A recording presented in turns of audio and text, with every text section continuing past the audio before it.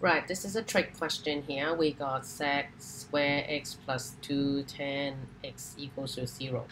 And since sec equals to tan square x plus 1, so I will have tan square x plus 1 plus 2 tan x equals to 0. Then put it into a quadratic, tan square x plus 2 tan x plus 1 equals to 0.